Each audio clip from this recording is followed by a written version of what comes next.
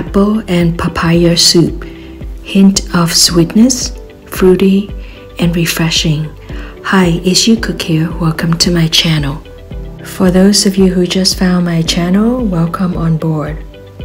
With just a few ingredients, you can actually prepare this pot of soup for the entire family, serving 5 to 8 people.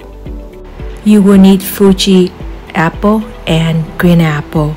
I'm using green apple from my garden. And of course, you're going to need pork bone and a few additional ingredients such as ginger, goji berries, honey dates, tangerine peel. Today, I'm adding papaya to my apple soup to bring out its sweetness. The use of apple and papaya provides lots of vitamins such as C, A, and E and it also provide a beautiful aroma of apple. So let's get to the recipe right now. First, blanch your pork bone and have it ready. I'm using an 8 quarts pot.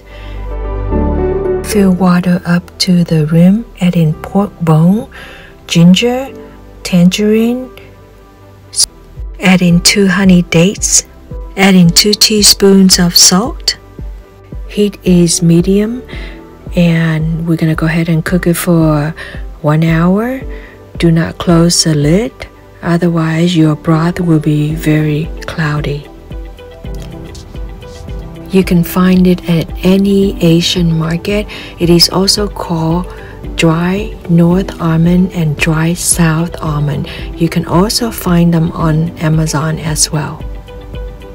The alternative is to use figs I'm using three large size of Fuji apple and two green apple from my garden. I'm using one papaya. Peel the skin off and remove all seeds inside and chop it up just like that.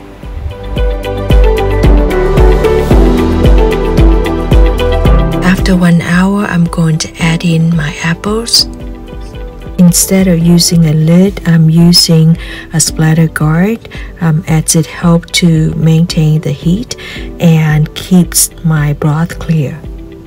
If you choose to close with a lid, turn heat to slow and cook for one and a half hour after adding in apples.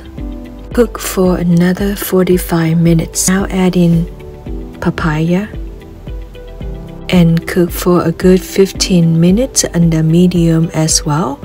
Last one, add in goji berries and turn off the heat. This is a perfect recipe for a hot summer.